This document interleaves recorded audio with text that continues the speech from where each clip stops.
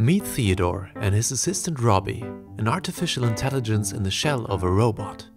Theodore has a problem. He loves to write letters, but he's missing writing utensils. Luckily, Robbie's goal is to make him happy, and it is able to produce a limited amount of items. So Theodore starts thinking about what he needs and whether he prefers writing letters with a pen or a pencil.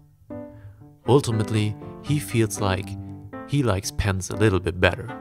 He can't really quantify it, but we know that his true value is the sum of pens and pencils, each multiplied by the values he gains from them, which is basically an exchange rate.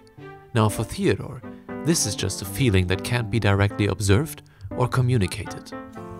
Consequently, Theodore tries to teach Robbie his preferences by providing rewards and penalties whenever Robbie produces an item. This training exercise goes well, but in the following night, Robbie calculates that it would be more efficient to directly reprogram Theodore's brain to simply be happy all the time. Theodore becomes very angry with Robbie. He says, You're my tool, not my mother. We need some boundaries, and I need some time for myself.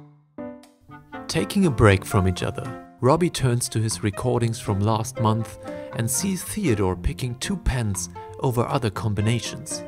Since Robbie can only predict the true value based on its data, it falsely assumes that Theodore places much more value on pens than on pencils. Faced with a choice to produce a larger amount of items, it predicts that 9 pens would maximize Theodore's happiness over the choice of 5 pens and 5 pencils. And yet, because Theodore only very slightly prefers pens over pencils, he would rather have gotten a bundle of 10 mixed items. Processing the failed interactions, Theodore starts thinking about how to align his own preferences with the goals that Robbie is pursuing, and finally, he comes up with an idea.